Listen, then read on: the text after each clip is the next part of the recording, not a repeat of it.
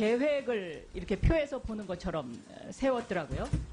합하면 약 천억 원대의 재, 재단이 됩니다.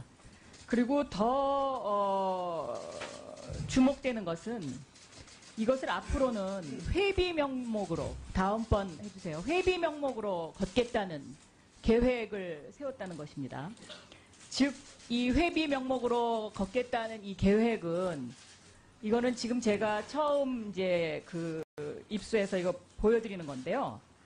결국은 이 대기업들의 회원제 클럽을 하겠다는 것 아닙니까? 그런데 여기에 속해 있는 이 대기업들을 보니까요.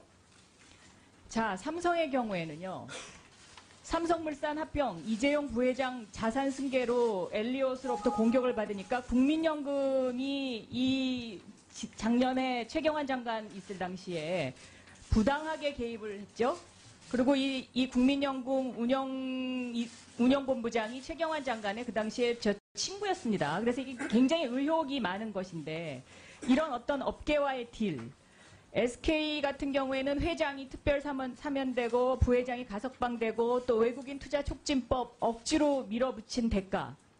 롯데 지금 뭐 수사받고 있기 때문에 여기야 뭐 당연히 돈을 냈겠죠. 하나그룹도 김승현 회장이 사면 대상자입니다. 대한항공은 한진해운 법정 관리로 인한 경영 실패를 했는데요. 여기서 한 가지 주목할 것이 다른 기업들은 다 매출액 기준으로 해서 돈을 냈는데 이 대한항공만 10억을 냈어요. 굉장히 돈을 조금 냈습니다. 그런데 이 대한항공 조양호 회장이 그만둔 날이 2016년 5월 3일이거든요. 올해 5월 달. 이 당시에 대- 박근혜 대통령은 이란에 출장을 가- 저 이란 방문을 하고 있었고요. 안종범 어, 수석이 문체부 장관에게 전화를 걸어서 평창올림픽 조직위원장을 사퇴해라 라고 전화를 해서 조양호 회장이 그만뒀다라는 것이 정설이죠 지금 5월 3일 날. 그러니까 대한항공이 지금 한진해운이 이렇게 법정 관리로 가게 된 것도 이 미르 재단에 돈을 10억밖에 안 냈기 때문이다.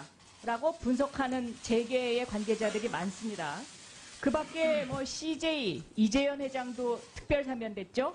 두산 면세점하고 관련 있죠. 신세계 면세점하고 관련 있죠. 대림산업도 회장이 중앙지검에 송치된 상황인데 지금 수사를 제대로 안, 하, 안 하고 있죠.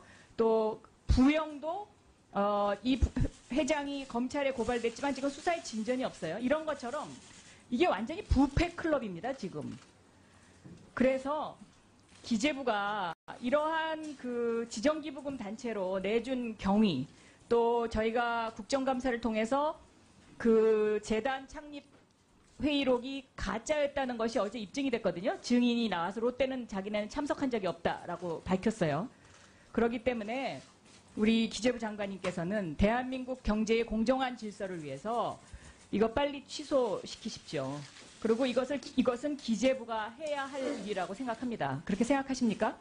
그 재단의 취소는 일단 해- 주무부처가 그것을 아니요, 지정기부금 취소를 하라 이런 예, 그게 말씀입니다. 먼저 취소가 돼야 지정기부금 하여튼 단체 경제를 총괄하는 장관이니까 책임감을 느끼시고 이 문제를 핸들해야지 그렇지 않으면 이거 완전히 부패 클럽입니다. 부패 클럽의 이런 암적인 덩어리, 준조세를 대기업들이 내야 되는 이런 상황. 이렇게 해가지고 어떻게 대한민국이 발전할 수 있겠습니까? 이건 아니지 않습니까? 다음 이승철 증인에게 있겠습니다. 굉장히 지금 여위셨네요.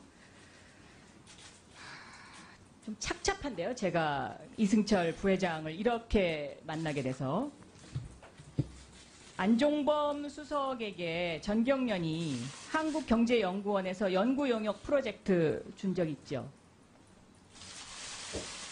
잘, 잘 기억이 안 납니다. 이거 찾아보시고요. 예. 자료 제출해 주시고요.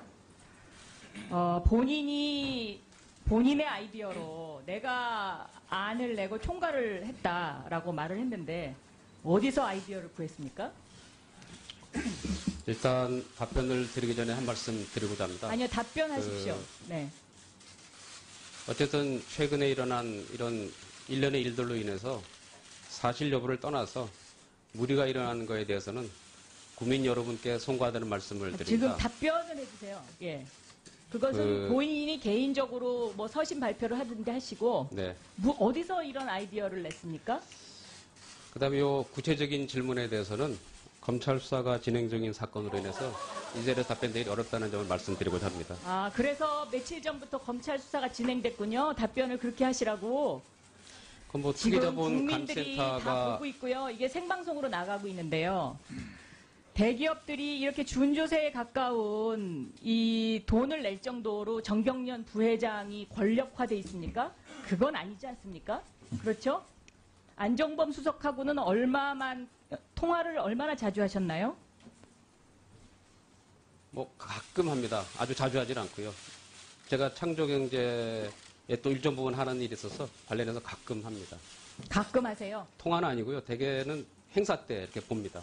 그럼 이재만 비서관으로부터 전화 받은 적은 없습니까? 없습니다. 없습니까? 네, 아, 우병우 수석 전화를 받은 적도 없고요. 없습니다. 어, 이건 나중에 검찰 수사에서 뭐 다 밝혀질 내용인데 제가 이걸 질의하는 이유는 정경련에서 이것을 해산하겠다고 그랬어요. 그런데 민법 제77조 해산 사유에 어디에도 이런 이런 권한이 없거든요. 무슨 근거로 이런 이야기를 하셨습니까? 어떤 얘기를 말씀? 재단을 해산하시겠다면서요.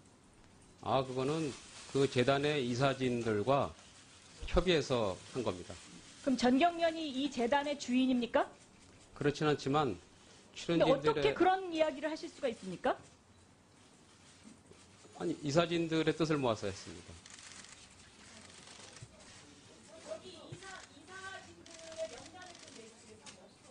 네. 이사 있습니다. 아니요, 표명을 한 거고요. 아직 법적으로는 이사진입니다. 사퇴를 표명한 거고요. 아닙니다. 기업들의 뜻을 모으고 이사진들과 협의해서 한 겁니다. 네, 어, 이성철 정인 들어가셔도 되겠습니다.